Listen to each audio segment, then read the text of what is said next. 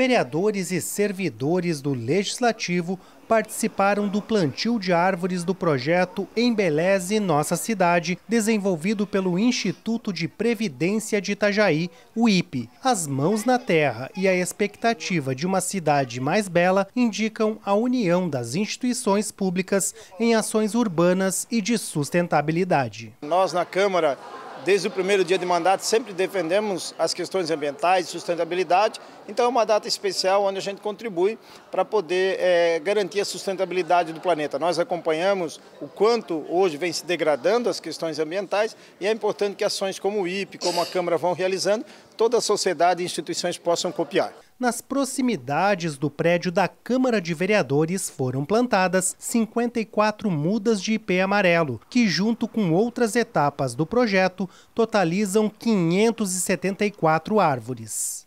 Por que o ipê amarelo? Porque é uma árvore que revitaliza, é uma árvore que embeleza, é uma árvore que dá vida. Então nós escolhemos o ipê amarelo.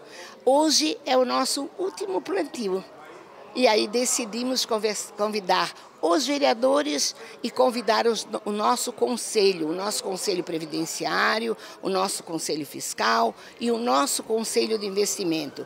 Escolhemos essa rua porque a sede do Instituto de Previdência está sendo construída nessa rua.